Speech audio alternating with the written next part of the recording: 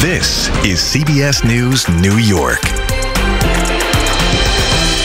Good morning. It is 8 a.m. on this Sunday, October 27th. I'm Elaine Quijano. Good morning, everybody. I'm Doug Williams. Thank you for joining us on this Sunday morning. We're joined uh, this morning by meteorologist John Elliott. Um, happy Sunday, everybody, and, and another nice day, mm-hmm. but chillier than yesterday, but less windy. So similar almost in terms of feel outside, John? But it's remarkably cold for parts of the area. Yeah. So, I mean, there's no issue with freezing or anything like that as far as water making ice, but sensitive vegetation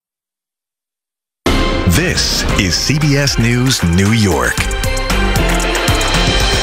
Good morning. It is 8:30 a.m. on this Sunday, October 27th. I'm Elaine Quijano. Good morning once again. I'm Doug Williams. We thank you for joining us. We're, we're joined now by meteorologist John Elliott, uh, doing all... John Elliott things. No, because my glasses, I get so excited and my day to go like that, and that's just a bad look. Can you believe? I mean, you made this point earlier. It's going to be dark next week yeah. before five yeah, o'clock again. Mm. And do give the kids time to adjust their well, schedule. That's a good point. Week before, week after, just so everybody knows it. And Elaine, thank you for noticing.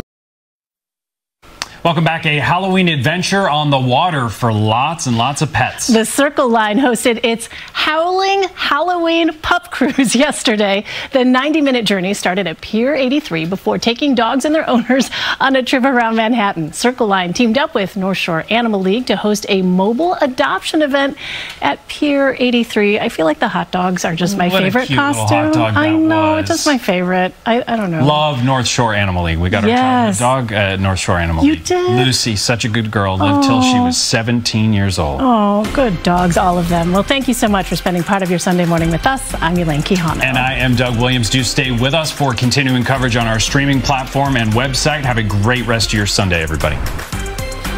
CBS News.